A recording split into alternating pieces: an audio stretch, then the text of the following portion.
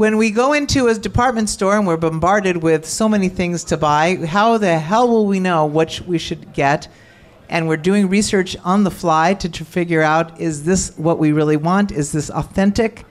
Is this really real? And so, with Dionys's company, Trulux, we're going to learn how we can really enjoy buying luxury goods and staying happy. And then, of course, if we get Dovev's application, our stress level will go down, so we'll buy more and then we'll eat more healthily. And you see, life is one continuous circle. Dionis, tell us all about Trulux.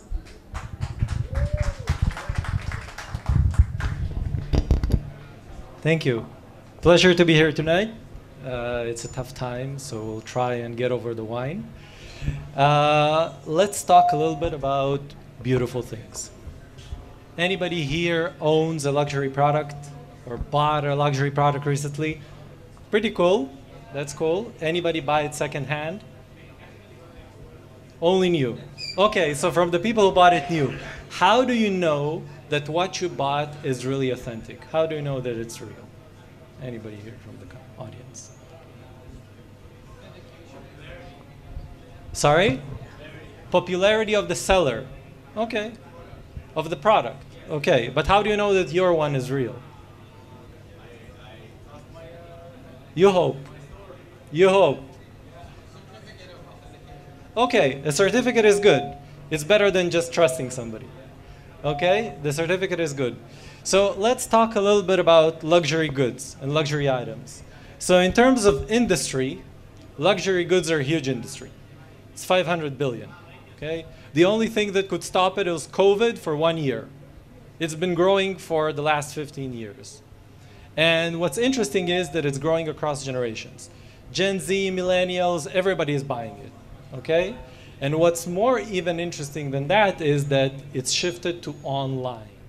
So people are buying more and more luxury goods online, not only in physical stores, which makes the problem of authenticity or knowing what you're buying even worse. Because essentially you're, work, you're looking at a website, at a bunch of pictures sold by somebody who you never met, and you're paying tens of thousands of dollars for an item which you hope is real. And that is a big problem. How big is it a problem? As big as the actual market for real goods. So recently, and th- that's been very nice, uh, about a month ago, there was a story in the New York Times about fake luxury goods, specifically fake leather bags. And they found that experts, human experts, on luxury items could not differentiate between a bag which costs $10,000 and the fake which costs like 500. Okay? The fakes have become so good. And it's a huge, huge issue. And the market for fake consumer goods, we're not even talking about pharmaceuticals or automotive, is $600 billion. It's being faked that much. So, what do we do about it? How can we solve that? Today, when you go to a reputable online store or an offline store, they have experts. These experts receive the items, they validate them in labs, they generate certificates. You trust those experts, hopefully, and then you buy the item based on that authentication. When you want to buy something, it may take several weeks between the time the item is offered by the seller to the point where it's offered to you as the buyer. Or if you're a seller, it will take you several weeks just to start selling. And in the online world of everything right now, and we want everything when we want it, which is exactly now, that doesn't fly. Okay? Because it just takes too long. It costs too much time, too much human effort. They have dozens of labs. It's too difficult to do.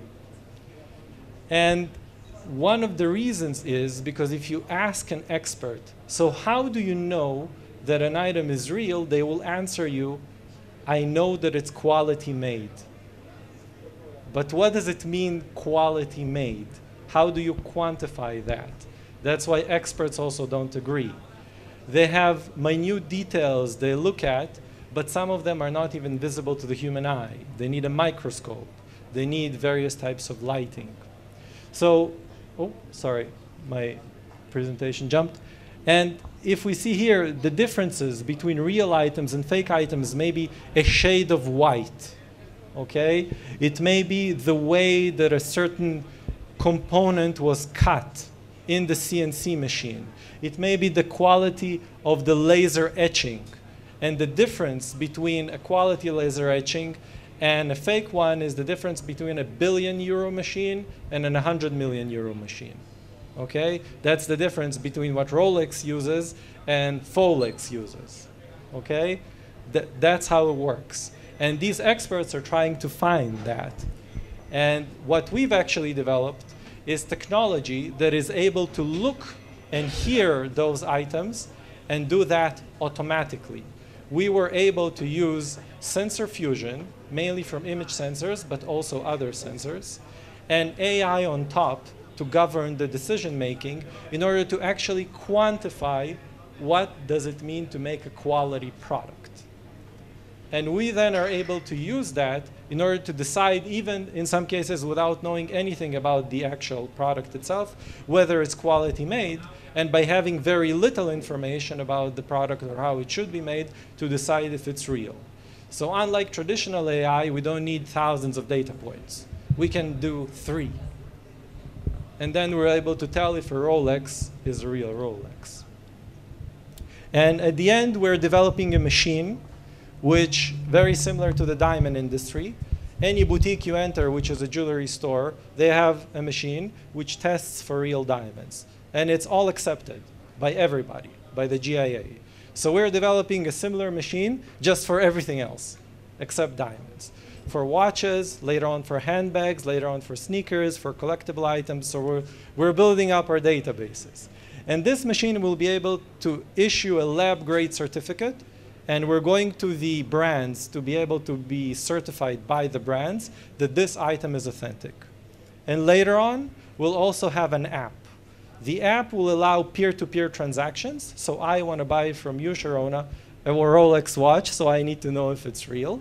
But also it will... It's real. It's real. It's real. But if it's from Sharona, it's real. That's, that's programmed into the app. and it will enable online commerce automation. So what takes weeks will take 10 minutes because it will be able to remotely receive data into our AI cloud and then decide if that product is real and also its valuation. And at the end, we'll also be able to create a digital fingerprint for this product, for this particular item, to trace it along its entire life cycle through everybody who ever bought it and ever owns it, and even connect it to a blockchain or an NFT, which is now being issued by all the large brands when you buy the product. And we do that by the same micro features we decide it's authentic on. So today it's luxury goods, tomorrow it's sneakers, collectible items, in the farther future, maybe pharma and automotive parts, everything which is faked. So this is why Trulux. Thank you. Thank you very much. So now we can see the future with our expert glasses on what is real and what's not real. And